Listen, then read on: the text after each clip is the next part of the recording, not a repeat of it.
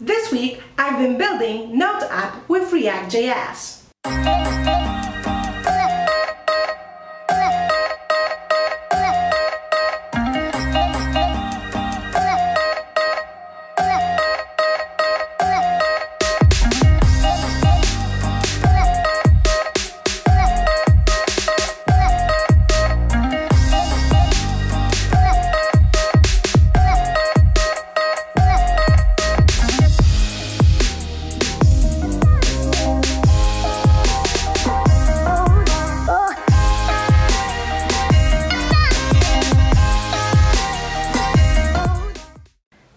Like playing Lego.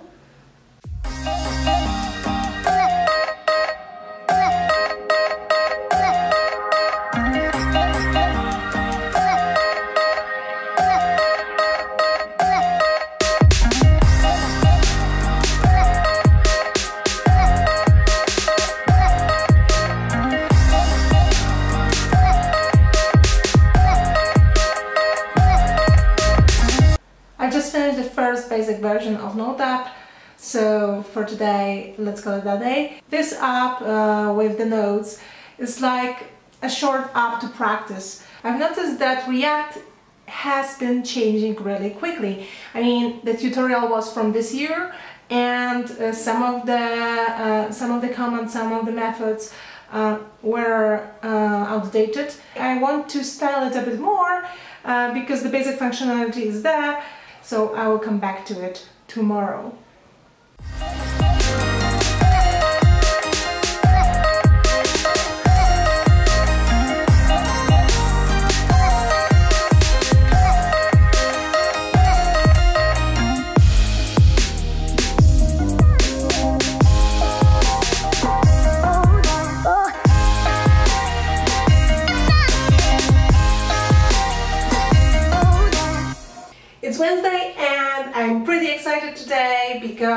I just found out that there's first 100 subscribers to my channel. It's pretty important uh, because you know I haven't been a vlogger before and uh, the aim of this vlog is not to be a vlogger but to share the journey, to share the story and to motivate others to learn to code and also to motivate myself because I'm taking a lot from your feedback, from your uh, from your support. The thing is that uh, it's better to create for people than to create for, just only for yourself because I also take a lot of feedback, a lot of motivation, a lot of uh, consejos en español, uh, a lot of uh, advice uh, from you.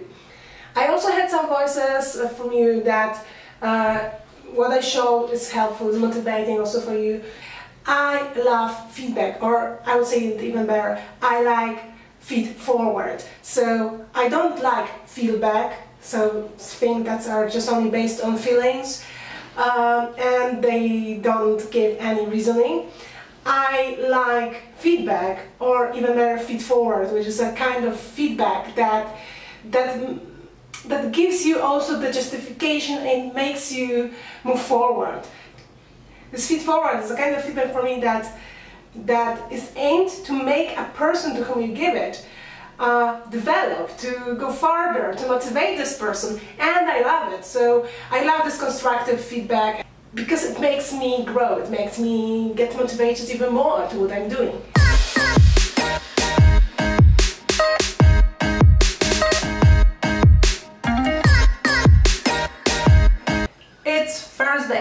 Yesterday in the evening I was fighting with Modernizr and my uh, new app. I wanted to have the notes draggable but uh, on mobile it was a bit of a problem because uh, this draggable um, destroyed the functionality of the buttons that were working on hover. It's uh, just the app for me for practicing, so I hope it's enough for now. And I will continue on adding other functionalities.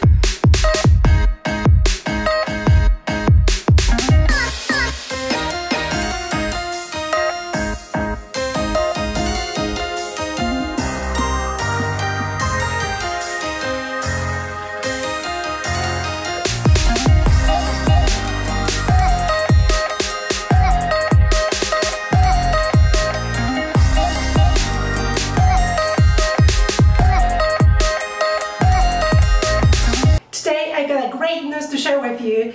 I was chosen as mentee to uh, Tech Leaders program. This is the program organized by the Polish chapter of Women in Technology and I'm really excited to take part in it. So I was chosen from hundreds of people who wanted to become a mentee. As my mentor I chose Eva and I hope to uh, talk with her really soon. And the program is totally for free for us when it comes to mentees and I will have four months of work with Eva uh, and I want to focus on JavaScript with her and uh, I'm really excited because as I read she's also interested in design and, and she also programs a lot in JavaScript so I hope that uh, these four months uh, will be really really uh, productive and I hope I will develop simply faster having this kind of mentor.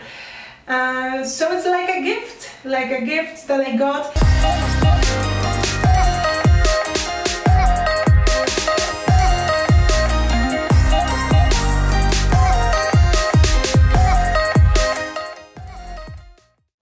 Thursday in the evening. This is how the app looks right now. Uh, you can drag and drop the notes. You can edit them.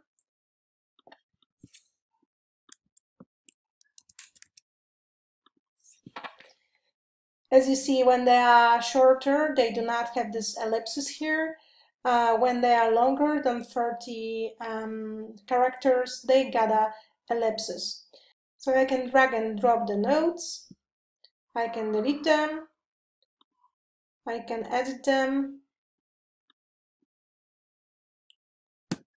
save the changes. I can also clean the board and add just only my notes.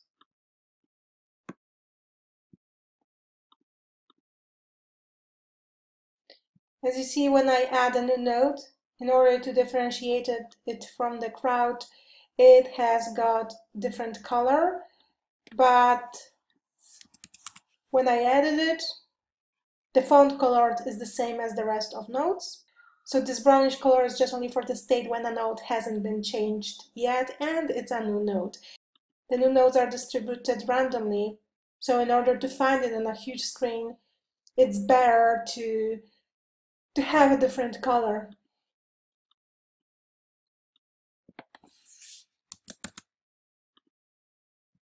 I can clean the board and I can add just only my nodes. On mobile, the position of the buttons is an easy to touch area, so it's at the bottom. You can also add a node, delete a node, uh, or edit it.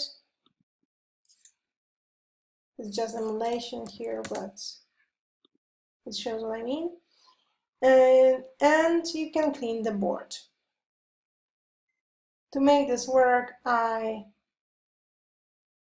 committed a few times on GitHub this week and I started with setup of React and um, started with um, setting up the nodes and basic functionalities. I started building this um, app using the tutorial. Uh, however, I added uh, also additional functionalities like cleaning the board, or um, optimizing the performance or styling it up differently. I also played with z-index of them uh, because I wanted to make it more real. Um, and if you take something from the bottom, it should appear at the top if you place it here. I will leave this app for the time being. Um, of course, you can add a lot of additional functionalities here or customization for users but uh, I won't do it now um, the, because the most important aim in it was practicing component states um, and generally doing the app in React.js. This week I was mostly focused on React.js and building the Node app. I was also doing some challenges from FreeCodeCamp map. I've been also learning a bit more about uh, build and install tools. I know it needs much more practice and using in the projects, but at least right now I differentiate them more into to install and build so into those who run the tasks for you and into those that just only install the stuff for you some of them are really complex and I don't need them right now for my projects that are quite small uh, but I got a better knowledge of what is for what practice makes perfect. So while using them, I hope to learn the most. Next week, I'm going to focus on another tutorial uh, connected with React and I want to build another small React app uh, in order to practice. Next week we are also having the meetup of Frontend Malaga and I hope to learn a lot about uh, marrying SVG with D3.js. Keep on doing, stay motivated and see you next week. I almost forgot, subscribe!